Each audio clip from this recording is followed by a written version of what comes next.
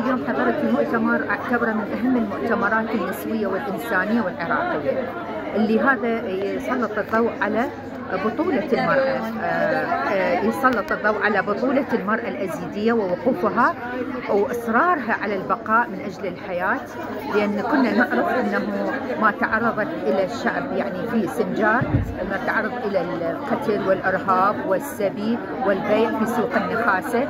تجي المرأة اليوم تثبت وجودها من خلال منظمات مؤتمرات من خلال دعوة العالم لتدوير قضيتها لتكون قضية عالمية.